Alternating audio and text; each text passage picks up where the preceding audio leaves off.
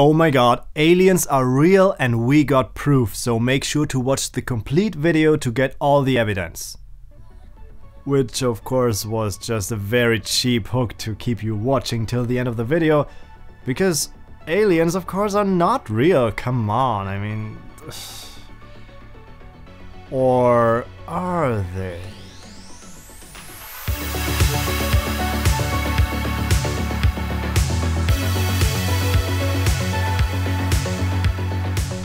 You probably all have seen or heard of these supposedly crazy persons that claim to have seen UFOs or even have been abducted by aliens, right? Well, this is gone. Now the mainstream and high government officials are officially talking about and investigating UFOs.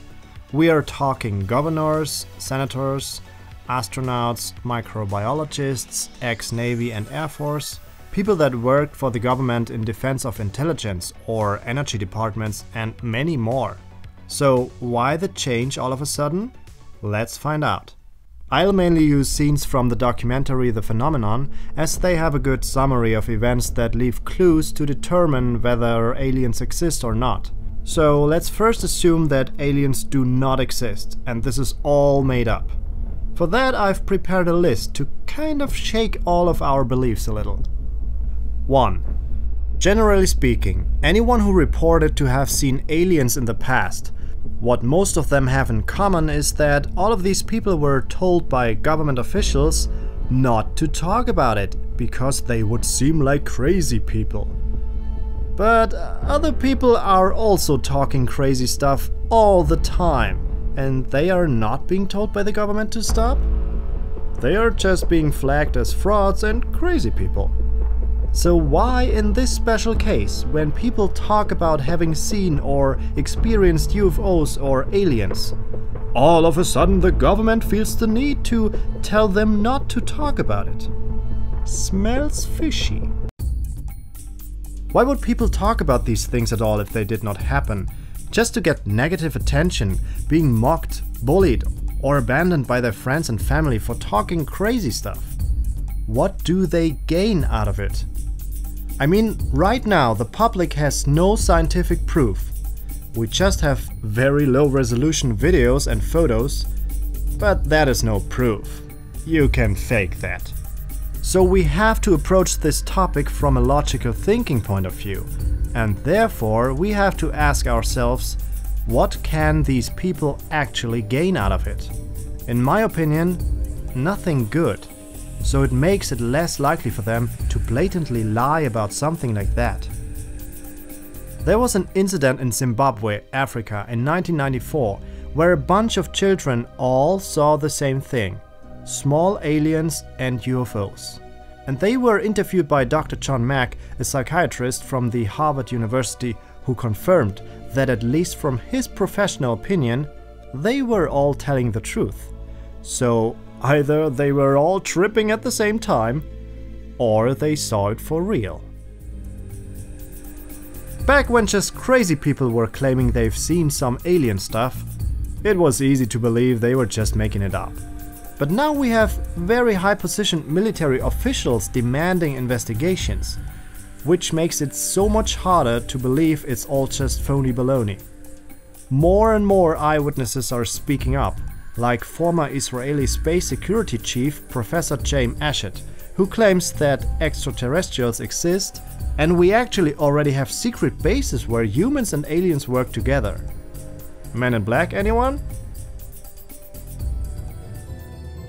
There were many incidents between 1980 and 1982, the time of the so-called Cold War between the United States and Russia, where military bases on both sides got visits from UFOs that disabled a couple of nuclear warheads on the American side within seconds, but started launch sequences on the Russian side. Up until today, there are a bunch of witnesses but no scientific explanations for these incidents. To me, it's pretty clear. This is just, we're shining a light on this, we're pointing it out. Uh, what are you people doing with nuclear weapons? In 2017, the US government admitted to have a modern program to investigate UFO sightings and even released once confidential video material taken from military aircraft. The military operation in 2004 with the USS Nimitz strike group right off the coast of California. Around 5,500 people took part and witnessed a UFO sighting. It is the so-called Tic Tac incident because of the shape of the UFO. They had the best measure equipment known to date and were jammed by those UFOs. After the incident was reported, high US Air Force officials came and took everything measure equipment, data, machines, everything. There was no further investigation and it was swept under the carpet. Again, smells fishy. Trump created the Space Force in 2019 and put an order into the most recent stimulus package to release all UFO material within the next 180 days? Many people did not even pick up on this, as most of the news were about pandemic related relief bills included, but it also includes the Intelligence Authorization Act to submit a report on every data related to UAPs, which translates into Unidentified Aerial Phenomena. In addition to that, the US Navy filed a patent for anti-gravity and zero-point source in 2016 and 2018. So, why all of a sudden did this topic become less and less crazy and more and more mainstream narrative? Maybe because if someone wanted to create a one world government, then it would come in handy if you have an external danger, and if climate change and a pandemic is not enough, hey, why not create a fake alien invasion? I mean, most of us looking at the world right now, we would probably be like, eh, whatever, this might happen as well. Right? Right now, we are able to fake almost anything in the media. Look at this movie Avengers, for example. There have been more and more movies and TV shows of this kind over the past decades. But aliens are almost always depicted as evil and as an external threat. But who knows whether they are evil or not? Couldn't they not also be highly evolved and benevolent? And even further, who says they have to look different than us? What if they also looked human like we do? So if they really do exist, why haven't they revealed themselves to us up until now? I think the phrase from Men in Black still applies. A person is smart. People are dumb, panicky, dangerous animals, and you know it. 1,500 years ago, everybody knew the Earth was the center of the universe. 500 years ago, everybody knew the Earth was flat, and 15 minutes ago, you knew that people were alone on this planet. Imagine what you'll know tomorrow. So maybe we're not yet ready and this information would create a mass hysteria and anarchy. But all this talk becoming mainstream could mean that maybe we are getting there or something is being prepared. Remember, if you want to spill the truth, do it in small doses over time and not all at once. We water it down. Precisely. Aaron Doughty, for example, recently made an interesting point. If you were a peaceful alien species, would you want to come here on this planet? I mean, look at us right now. Look at our systems in place. We are kind of insane and we have weapons. We have so many nuclear weapons to destroy the whole planet a dozen times. Yeah, because that makes so much sense, right? Maybe this is why so many nuclear facilities are being visited and turned off. Would you, as a friendly and sane thinking person, go into an insane asylum where all of the inmates have weapons and will most likely attack you? Probably not. If you wanted to help, you would probably seek out the ones that are most peaceful and mentally stable, and very subtle give them hints and tips on how to move on in their evolution. And we do not even know if these things are extraterrestrial life forms. They could also be USOs, so-called unidentified submerged objects. After all, we haven't even researched most of our planet's ocean floor yet. They could also be time travelers, or from our own governments but not officially being shared with the public.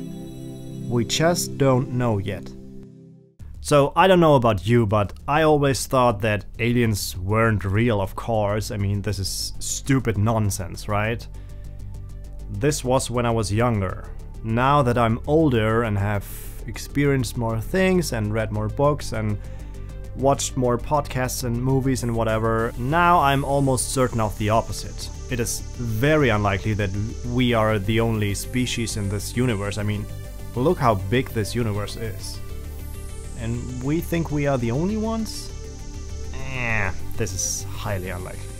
But hey, I'm not here to tell you what to think. I want to encourage you to start thinking for yourself. So don't listen to people on the internet. Mm, and also not the mainstream media. Mm. Think for yourself. Research for yourself, okay? Use this thing here, the brain. It's very important that humanity wakes up and uses the brain. So please try to research for yourself, start thinking logically, and don't buy into the mainstream media and become a sheep. So what do you think? Are aliens real and will we witness first contact soon? Maybe even this year? I mean, over the last year, more and more evidence, whether you believe it or not, has been coming out and it got less crazy conspiracy theory and more mainstream narrative. So something is definitely going on and I, I think something will be coming out very soon but I don't know how and which way and what exactly. But it's nevertheless a crazy time that we live in right now, so honestly it would fit in right perfectly. But hopefully I was able to shake your firm beliefs a little that aliens are not real and this is certain and maybe you can start looking up more information up on your own now and start thinking for yourself and not just believe everything anyone says, including me. In case you wanted to check out the documentary The Phenomenon, there's a link in the description and I hope you enjoyed this video. Bye bye. Okay, you can beam me up now. Yeah, I'm done. God, I hate talking to these infidels.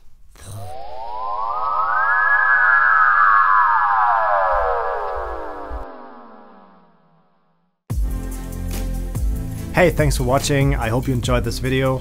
My name is Matthew and I try to question this universe in a funny way. So if you like this kind of content, make sure to check out my channel where I have a lot of similar videos. Some are funny, some are a little more serious, but overall it's the same thing. So if you like this kind of content, make sure to subscribe and leave a like. I wish you a wonderful time and see you soon.